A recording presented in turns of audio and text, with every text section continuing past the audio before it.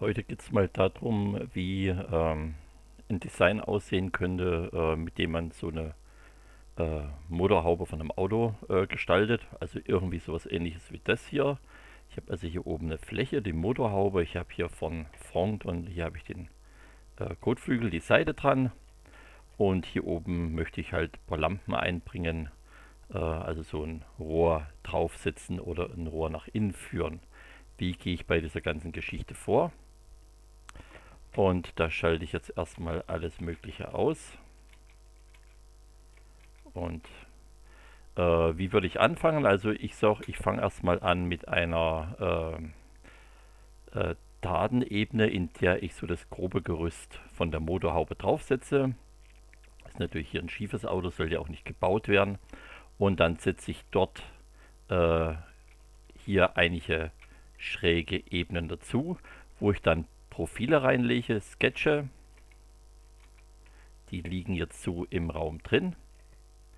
Ich habe dann hier unten auch nochmal eine nach unten, damit ich hier den, den Kotflügel ranbekomme. Das sind also meine Ausgangsdaten, um die Freiformflächen darzustellen. Und äh, die Sketche, die werden jetzt alle überführt erstmal in Bézier-Kurven. Das sind jetzt die hier. Äh, hier auch noch ein paar. Ich blende die Sketche aus.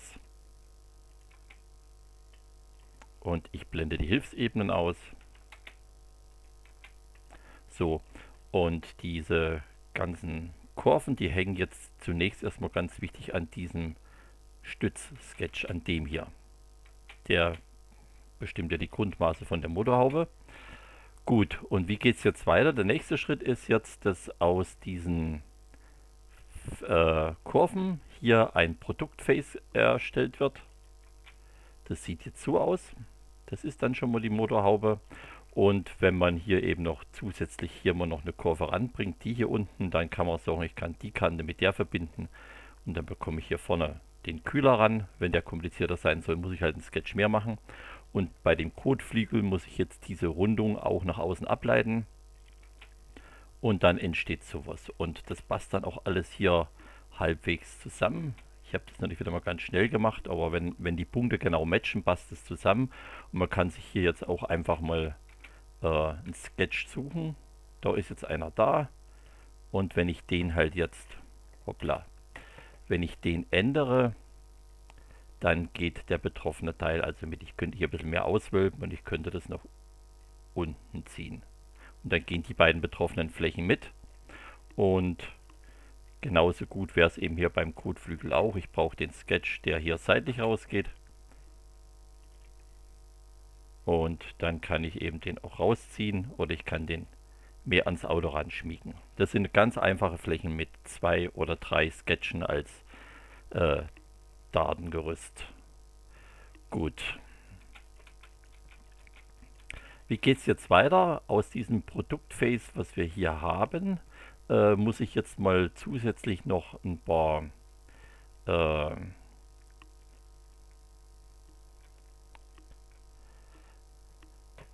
äh, Pole äh, oder, oder Knoten einfügen, damit ich das dann später aufteilen kann. Und das wäre dann ungefähr dieses Bild so. Das heißt, ich habe hier vorne schon mal Bereiche vorbereitet, wo die äh, Scheinwerfer eingebaut werden sollen. Mache den Rest hier mal aus, den brauchen wir jetzt hier nicht mehr. Das ist also der nächste Schritt und dann geht es weiter, dass wir suchen, wir haben eben jetzt hier zwei Zellen A und B. Und in diese beiden Zellen soll was eingesetzt werden. Und dafür habe ich äh, ein Werkzeug, das hatte ich auch schon mal äh, gehabt bei der D-Kanne wohl, äh, also ein Loch in eine Fläche einsetzen und das ist ein parametrisches Objekt, das sieht so aus. In die eine Richtung und hier unten sehe ich jetzt also die Fläche, die muss natürlich in dem Fall weg, da brauche ich eine Aussparung, damit ich diesen Scheinwerfer einsetzen kann. Ich kann allerdings auch bei dem anderen Scheinwerfer den einfach hier unterm Glas drunter liegen lassen. Also hier oben habe ich noch die Glasfläche und hier unten drin ist dann der Einsatz für, für den Scheinwerfer drin und ich habe den Verlauf, der hier reingeht. Und äh, blende mal jetzt die Zelle aus und blende dafür die Grids ein. dann sieht man, wie das ganze Ding jetzt insgesamt aussieht. So laufen die, die Kontrollkurven für, für diese Objekte. Und wenn ich dann einfach meine Zellen alle noch einschalte, dann ergibt sich dieses Bild. Die Zelle muss ich ausschalten, weil hier das Material sich, sich durchschneiden würde. Der Rest ist aber soweit gültig und äh, so sieht es aus. Und man kann jetzt einfach mal den Verlauf sich auch mit den Maps anschauen. Ja, das stört natürlich immer ein bisschen. Dann hätten wir dieses, diesen Verlauf. So, was ist jetzt das Besondere noch an den äh, Löchern, an diesen Lochobjekten?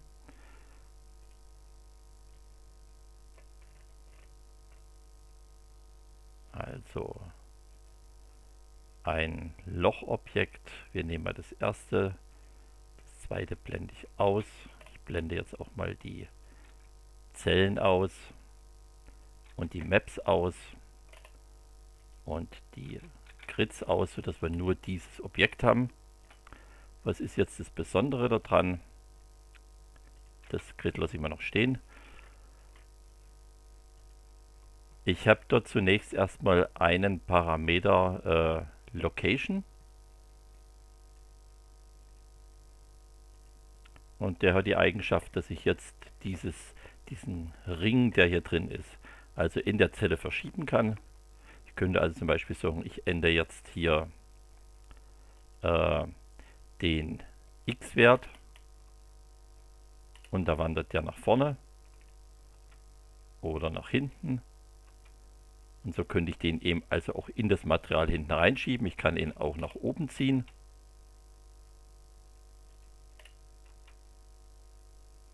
So, das ist auch da. Und ich habe einen Radius und kann damit einstellen, wie groß diese Öffnung sein soll. Und ich habe die Möglichkeit hier diesen Aufsatz, die Länge von diesem Aufsatz zu verändern. Wenn ich da so großen Kanonenrohr draus erzeuge, müsste ich den dann vielleicht hier im x-Wert wieder ein bisschen zurücknehmen. Und dann ergeben sich natürlich hier drin auch gewisse Faltungen, die dann bis in den unbrauchbaren Bereich hineingehen kann. Ähm, das gleiche Spiel haben wir auch für das andere Objekt. Also hier drüben. Schauen wir uns das mal. Ich, ich blende das mal aus. Hier geht es noch innen rein und der Unterschied äh, bei dem zweiten ist, dass hier die x-Koordinate negativ ist und auch die Höhe hier ist negativ. Das heißt, wenn ich hier bei Height minus 4 eingebe, dann geht dieser Wulst nach innen. Wenn ich hier ein plus 4 eingebe, dann geht er in diese Richtung raus, wobei das natürlich hier Schwachsinn ist, weil da würde das Blech sich selbst durchdringen. Aber prinzipiell geht es, man muss einfach mal gucken, welche Möglichkeiten man jetzt da im Einzelnen braucht. Und ich könnte doch halt hier auch jetzt auch nicht lang da mal richtig zu und mache da einen Schlauch nach hinten rein. So, und dann habe ich also einen Übergang von der Freiformfläche hier noch innen in das Objekt hinein. Ähm, dieses Objekt, was man hier hat, könnte man jetzt auch sagen, ich möchte gern noch die Deckflächen auch mit haben, also Endflächen setze ich mal auf Ja und dann rechnet er mir diese Endflächen aus. Die haben jetzt alle da und ich könnte sagen, die drei Flächen aus denen erzeuge ich dann einfach mal ein Solid. So, ich habe die Aufnahme mal unterbrochen und habe diesen Solid mal erzeugt. Das ist jetzt ein bisschen Friemelei, da könnte man auch mal ein Skript noch dazu machen, aber wir haben jetzt hier einfach ein Solid.